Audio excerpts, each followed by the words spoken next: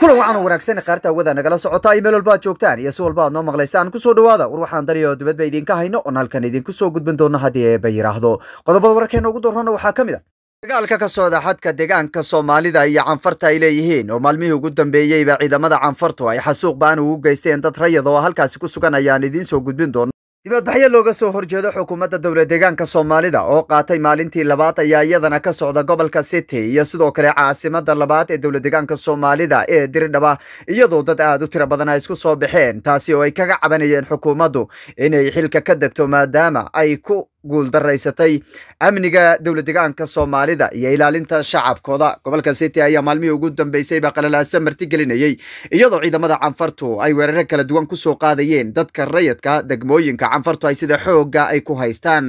Dhinaca kalena deegaanka axmaarada oo dagaalo waaweyn ay ka socdeen maalmihii ugu dambeysay ayaa iyadana ciidamada ammaanka ee militariga dalka etoobiya iyo kuwa new booliska ee ka amar qaata maamulka deegaanka axmaaradu waxay xasuuqeen shacab aad u tiro badan waxaana xabsiga loo taxaabay toddoba kun oo qof oo taageero u ahaa jabhadda fano ee ka soo horjeeda militariga ee dagaalada kula jirtay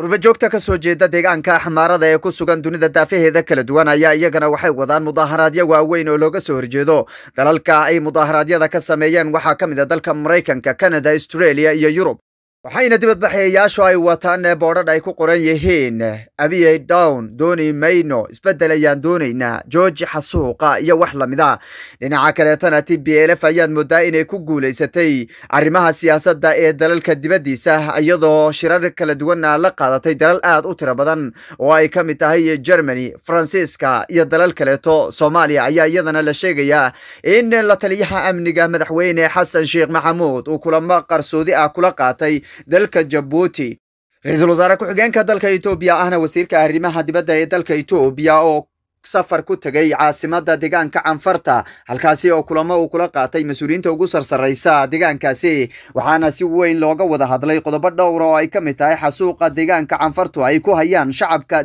dowlad deegaanka soomaalida degmooyinka ka tirsan gobolka city. Oo si ula kaca ciidamada canfartu ay u xasuuqaan dadka shacabka ee ku sugan halkaasi qodobadaas iyo kuwo kaloo faahfaahsan ayaad warkeena kaga bogan doontaan balse haddii muuqaalku soo gaadho like saar oo nagu soo biir oo aragtidaada noogu reeb qaybta kommentiga mahadsanideen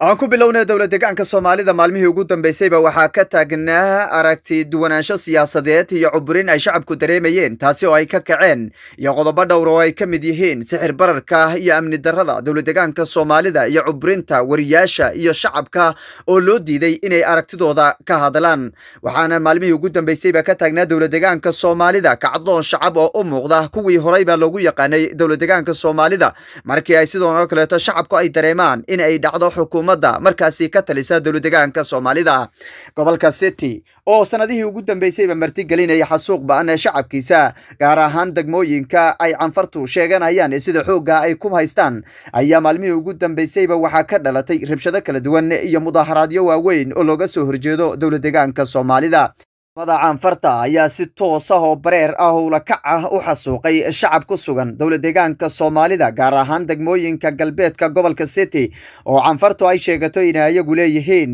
halka ay shacabka ku suganna ay yihiin shacab ka tirsan dowlad deegaanka soomaalida. Dowladda ayaa sidoo kale lagu dhaliilay inay ka gaabisay ilaalinta shacabka dowlad deegaanka soomaalida. Waxaa sidoo kaleeto dhaliilo loogu soo jeediyey inay sixir bararka iyadu ay mas'uul ka tahay ayna sheegtay xukuumadda dowlad deegaanka soomaalida inaysan waxba ka qaban karin taasi oo niyajab ku noqotay shacabka dowlad deegaanka soomaalida. Waxaa sidoo kaleeto maalmihii ugu dambeysayba la soo bandhigahayay argagixiso la sheegay inay soo gashay dowlad deegaanka soomaalida taasi oo iyadana dhaliilo waaweyn loogu jeediyey xukuumadda dowlad deegaanka soomaalida ee musdafa cagjar u hogaamiyo. Waxaa bilowday kacdoon shacab oo shacabku ay u arkaan inay xukuumaddu ka gaabisay dhinac walbaba dhinaca ammaanka dhinaca ilaalinta xakamaynta sicir bararka dhinaca amniga iyo dhinaca ilaalinta xuduudaha dowlad deegaanka soomaalida intaba inay lagu dhaliilay madaxweyne musrafi cagjar taasi oo hadda u muuqata inay gelgelanayso xukuumaddiisa shacabka dowlad deegaanka soomaalida gaar ahaan gobolka city iyo magaalada diridhaba ee caasimada ayaa maalmihii ugu dambeysayba mudaharaadyo waaweyn ay ka socdeen taasi oo looga soo horjeedo xukuumadda cagjar uu hogaamiye ee dowlad deegaanka soomaalida waxayna shacabkan ay ka cabanhayaan in xukuumaddu ay ku guuldaraysatay ilaalinta shacabka dowlad deegaanka soomaalida loona baahan yahay isbeddel in la muujiyo isla markaana aad moodid hadda inay gobollo badanna ay ka oo ay ka mid tahay gobolka afdheer shabeelle iyo gobollo kaleeto. Taasi oo u muuqata shacabku inay hadda dareemayaan guux siyaasadeed oo ay doonayaan inay kaga takhallusaan xukuumadda hadda jirto oo lagu eedeeyey inay dhinac walbaba ay ku guuldaraysatay madaxweyne mustafa cagjar ayay ka dalbadeen mudaaharaadyada dibadbaxayaasha ka dhigahayay gobolka city iyo caasimadda diriraba ee dalka etoobiya inuu xilka iskaga dega maadaama uu ku guuldaraystay abaarihii soo maray dowladegaanka soomaalida. Xakamaynta sixir bararada ka taagan dowladegaanka soomaalida ee macaashidii la cunahaya ee kor u kacday iyo amni darrada soo wajahday dowladegaanka soomaalida. Xasuuqa shacabka dowladegaanka soomaalida lagu haya ee ay ku hayaan ciidamada canfarta taasi darteedna loo baahan yahay in isbeddel la muujiyo uuna baneeyo kursiga si loo helo qof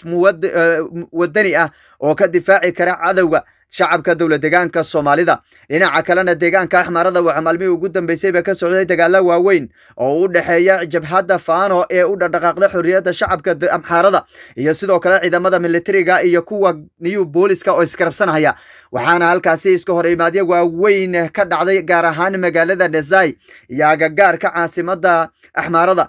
waxaana la sheegay inay dad aad u tiro badan ay ku dhinteen. Ciidamada militariga iyo kuwa new booliska oo iskarabsanhaya ee deegaanka axmaarada ayaa la sheegay inay xabsiga u taxaabeen in ka badan toddoba kun oo qof oo rayad ah kuwaasi oo lala xidhiidhiyey inay taageero u yihiin jabhadda faano jabhadda faano ayaa la ogsoon yahay inay boqolkiiba sagaashan iyo sagaal shacabka ay taageero buuxda ka haystaan taasi oo xukuumadduna ay ka soo horjeedo oo cid weliba oo taageerta xabsiga loo taxaabayo. Inta la xaqiijiyey ciidamada militariga iyo kuwa new booliska isku garabka ee ka amar maamul deegaanka axmaarada ee hadda ka taliya ayaa xabsiga u taxaabay toddoba kun oo qof halka la sheegaya inay tiradu intaa ka badan karto. Deegaanka axmaarada waxaa ka taagan oo loolo shacab oo looga soo horjeedo ra'iisul wasaaraha dalka etoobiya taasi oo lala xidhiidhinaya howlgalka militari ee dowladdu ay ku qaaday halkaasi oo la doonayo in lagu wiiqo shacabka aragtidooda iyo damaaciga ay doonahayaan inay helaan isbeddel dowladegaanka soomaalida shacabka ka kacay iyo kuwa axmaarada ayaa la sheegay inay hoosta ka xidhiidhsan yihiin la doonayana in isbeddel siyaasadeed la helo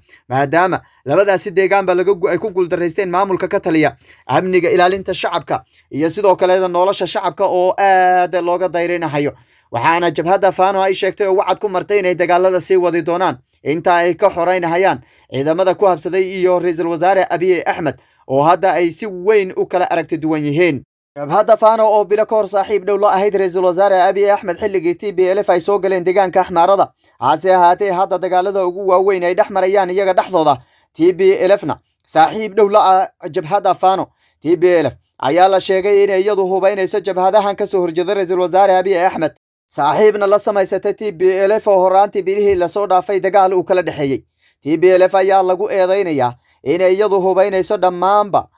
jabhadaha ka dagaalama dalka etoobiya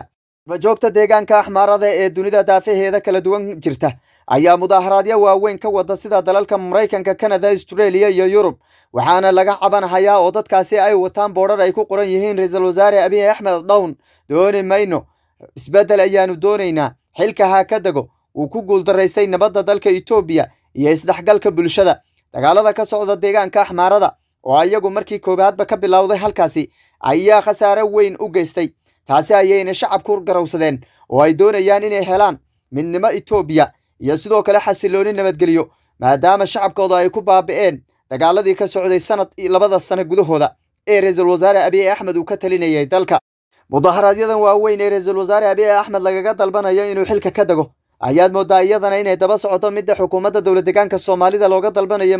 madaxweyne mustafa cagjar inuu xilka ka dego waxaanad moodaa etoobiya inay cagta saartay isbeddel siyaasadeed oo shacabku hadda xaggooda ka yimid maadaama dagaalkii hadda labada sano socday uu ahaa siyaasiin dagaal u dhexeeya oo keliya oo shacabku aysan raalli ka ahayn. Hase ahaatee shacabka ayaa dhinacooda hadda wuxuu ka yimid. Dalab ay kaga dalbanayaan ra'iisul wasaare abiy axmed iyo sidoo kale xukuumadda dowladegaanka soomaalida shacabka ku sugan oo mudaharaadyo waaweyn maalmihii ugu dambeysayba ka waday halkaasi. T b lf oo dagaal muddo laba sano ah ka waday gudaha dalka etoobiya ayaa hadda la sheegay inay ku guulaysatay arrimaha siyaasadda dalka dibaddiisa taasi oo la sheegay inay hadda soo noolaynayso xulufadeedii hore oo ay raaraadinayso. La taliyaha amniga madaxweyne xasan sheekh maxamuud ee dalka soomaaliya ayaa la sheegay inuu asbuucan gudihiisa kulan kula yeeshay saraakiil sarsare oo t b lf a halkaasi oo shir qarsoodi ah ay ku yeesheen madaxweyne xasan sheekh maxamuud ayaa lala xidhiidhinayaa inuu soo noolaynayo xulufadiisii hore oo ay ka mid tahay t b lf la ogsoon yahay xilligii madaxweynaha uu ka ahaa dalka soomaaliya inuu si saaxiib dhow la ahaa t b lf oo mar weliba uu tegi jiray magaalada adisababa iyo sidoo kalena si dhow ay iskula shaqaynahayeen. Xasan sheekh maxamuud ayaa lagu eedeeyey inuu saraakiishan isagu uu ka dambeeyey la kulanka la taliyaha amnigiisa ee kula kulmay dalka jabuuti waxaa sidoo kale la sheegay t b in si dhow si wanaagsan loogu soo dhoweeyey dalka germany iyo sidoo kale faransiiska oo xubno ka tirsan t b lf ay halkaasi ka degeen. Dhinaca kalena ra'iisul wasaaraha dalka etoobiya ahna wasiirka arrimaha dibadda ayaa maalmihii ugu dambeysay ku sugnaa magaalada caasimara ee caasimadda deegaanka canfarta halka ay dagaallo waaweyn iyo xasuuq ba'an ay ka wadeen ciidamada canfartu xadka deegaanka soomaalida oo dad aad u tira badan ay ku xasuuqeen. Waxaana la sheegay inay ka wada hadleen sidii loo dejin lahaa xiisadda. Ay ciidamada canfartu ay halkaasi ka wadaan. Waxaa sidoo kaleeta lagu qaboojinahayey canfarta oo tabashooyin ka qabtay dowladda federaalka xilliyadii ay soo galeen t b lf ee ay deegaanadooda qaybo ka mid ah ay qabsadeen. Waxayna canfartu marar kala duwan a eedeymo u jeediyeen dowladda federaalka etoobiya oo ay ku sheegeen in sidii la rabay aysan ooga qayb qaadanin ciidamada t b lf xilliyadii ay dagaalada ba'an kula jireen ra'iisul wasaare ku-xigeenka ayaa la sheegay inuu ka dalbaday madaxda ugu sarraysa deegaanka canfarta inay dejiyaan xiisadda soomaalida iyo iyaga u dhexaysa oo xal waara laga gaadho. Islamarkaana ciidamadoodu ay ka soo bixiyaan goobaha ay ku xasuuqeen dadka rayadka ra'iisul wasaare ku-xigeenka safarkiisa ugu weyn ee uu ku tegay magaalada sameera ee caasimadda deegaanka canfarta inuu ka xaalmariyo tabashooyinka ay qabaan maamulka ugu sarreeya deegaanka canfarta ee ah inay dowladdu ka gaabisay dagaaladii t b lf ay kula jireen iyo sidoo kaleeto inuu ka waaniyo oo ciidamadooda uu ka soo saaro. Goobaha ay dadka rayidka ku xasuuqayeen ee ka tirsan deegaanka soomaalida